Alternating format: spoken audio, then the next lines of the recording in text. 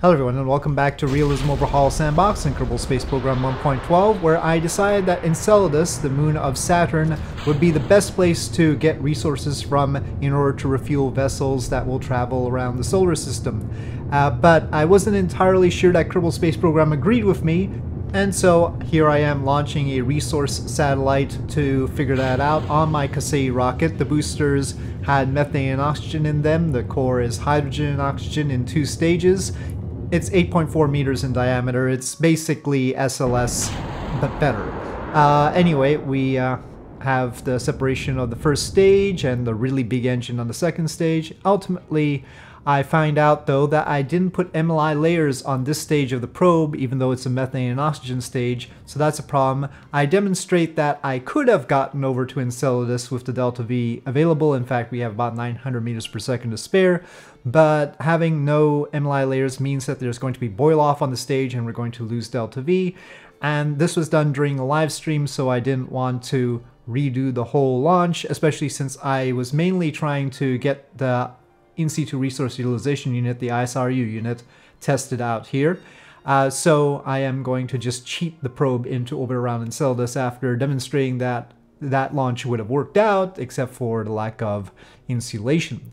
So here I cheated the probe into orbit and scanned the surface of Enceladus to find the resources. We're looking for ore in this case, but really what Enceladus has is water.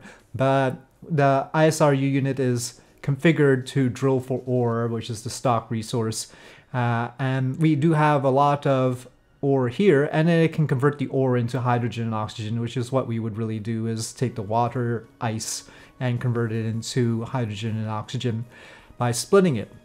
And then the hydrogen can be used for nuclear systems, NTRs, and then the oxygen potentially can actually be used for ion systems. Normally we think of ion systems using xenon gas or argon or krypton or something like that, but they don't need to. Uh, it's just that oxygen doesn't get as much efficiency. Oxygen gets about 2,000 seconds of specific impulse and not as much thrust. But we can get it pretty easily compared to xenon or krypton or stuff like that. Here I've got reactors from KSP Interstellar. Those will be powering the ISRU unit and the drills, though I think the nuclear engine that I'm using on this lander for Enceladus uh, could provide enough power. Uh, it is a bimodal reactor. In other words, it provides both both the thrust and the electrical power. Here's the ISR unit. I made the lower portion of the lander into a donut so that the stuff could fit in. Uh, that may or may not be the best thing. Uh, out in the outer planets around Saturn, where Enceladus is, it's very cold, so there's not naturally much boil off, but putting a reactor in there could create some boil off. Now, I needed some RCS thrusters that would work with just hydrogen, so here I am adding hydrogen gas thrusters to my RCS configurations in the shear strut engine pack so that I can just use the hydrogen boil off as our thrusters uh, so that we can maneuver in space.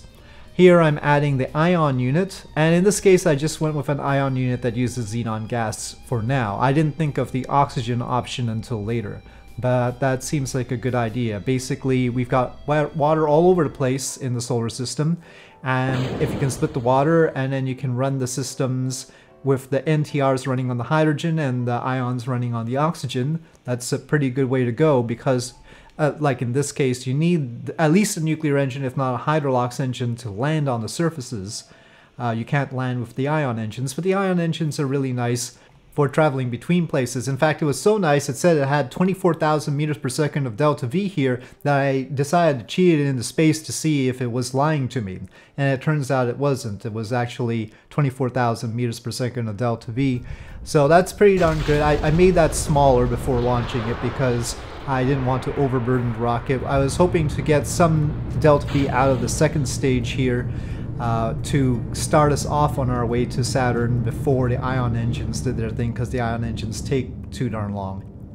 And we've got units that have basically realistic-ish thrust right now, so they take many days to deliver their delta V. And in order to make that work out for us, we need to be able to time warp while using the ion engines, and so they need to be configured for KSP Interstellar. Uh, there is persistent thrust, but I've never gotten persistent thrust to work right. KSP Interstellar is the only one that I've gotten to work right with ion engines during time warp, and so that's the situation we have here. Now, unfortunately, on this occasion, I didn't have enough delta V out of the second stage for us to really get away from Earth very well. Uh, it's gonna take a whole lot of cycling passes to try and boost up, and I decided that this would be entirely too tedious. And so I decided to redo the launch and get a little bit less from the ion stage, make it smaller, reduce how many ion units we have, reduce the size of the reactor and generator there, and take off some radiators, and then add a hydrolox stage. You can see the hydrolox stage, and then eventually I decided that the hydrolox stage was not good enough. It wasn't giving me enough delta V, and so I swapped it out for a nuclear stage. So for those keeping track, we now have three separate nuclear powered stages. So we've got an NTR lander on top, we've got uh, reactor and generator powering an ion unit in the center, and then we will have the Fuji stage at the bottom here. The Fuji hydrogen stage has another nuclear engine. This is not ideal. Uh, so this is a mock-up, but uh, I'll try and make this all tighter and combine things together in a better way.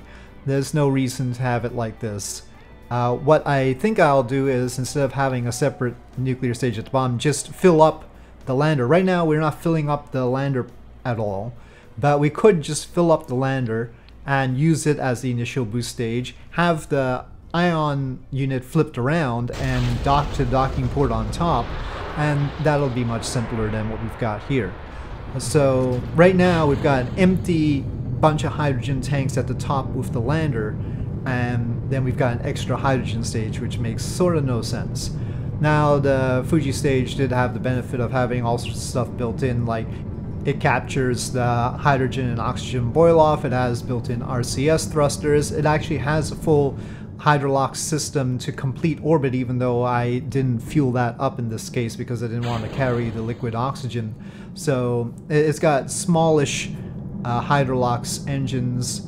I forget exactly what the thrust is, but uh, they help complete orbit so we don't have to turn on the nuclear system ahead of time before making orbit. In this case, I just turn on the nuclear system before making orbit.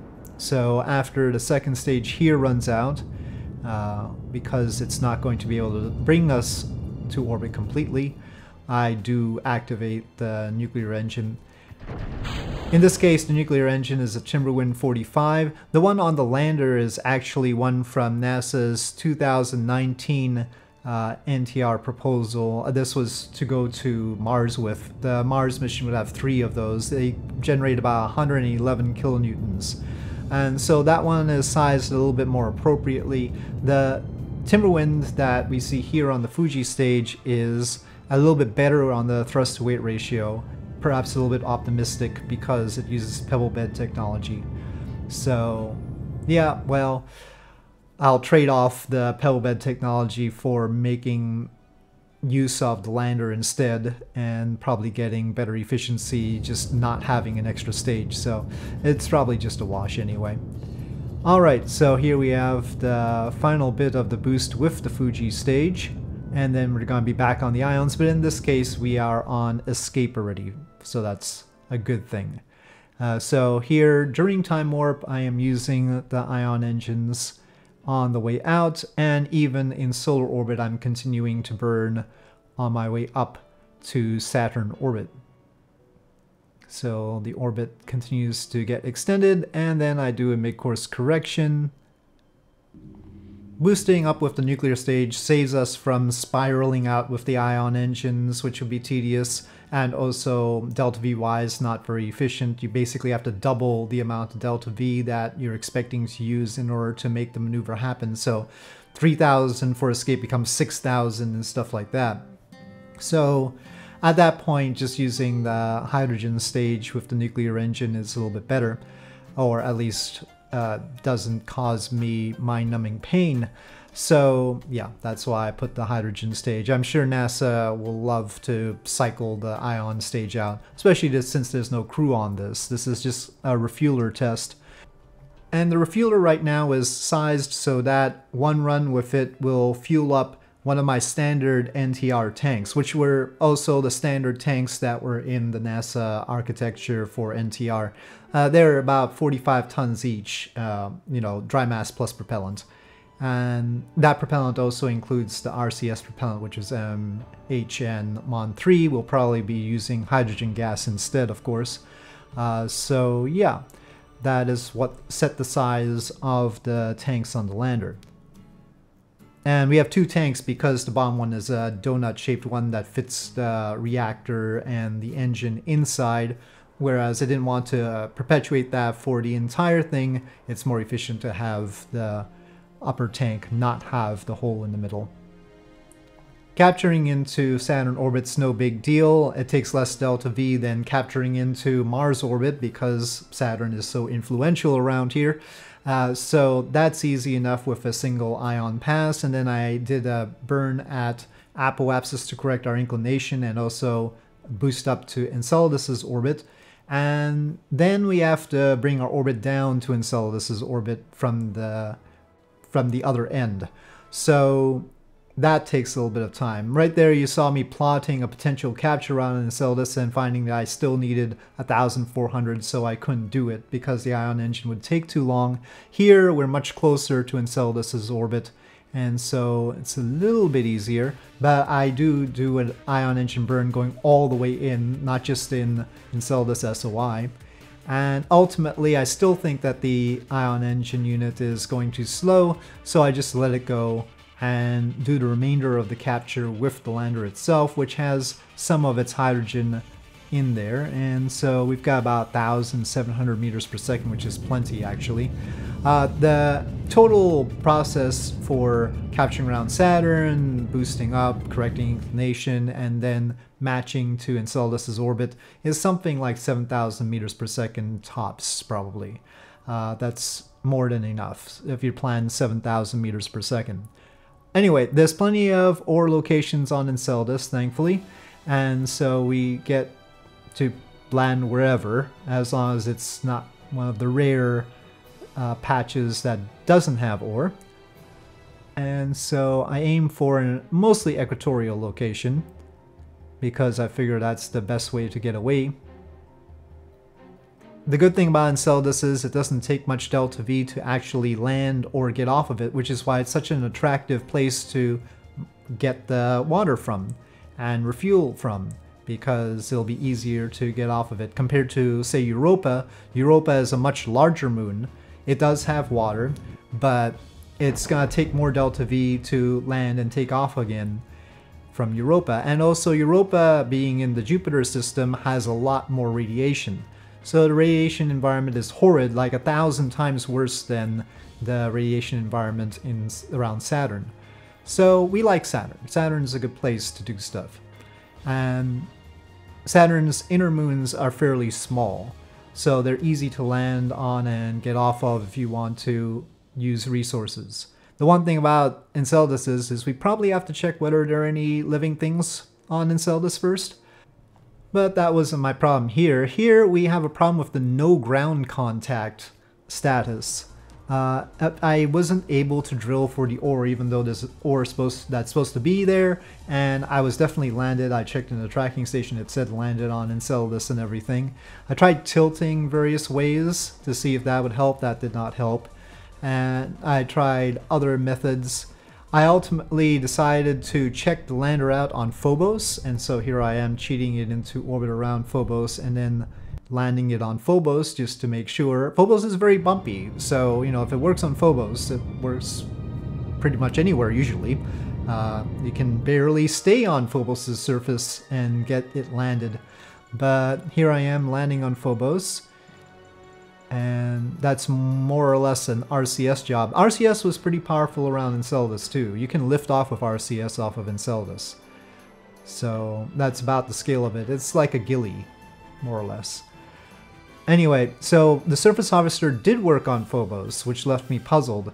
As it turns out, for some reason, real exoplanets was the culprit. When I removed real exoplanets, which I wanted because I wanted other star systems to go to in this particular save, but when I removed it, then the drilling worked on Enceladus. But otherwise, uh, nothing I did uh, made the drilling work on Enceladus. It was always no ground contact, no matter what.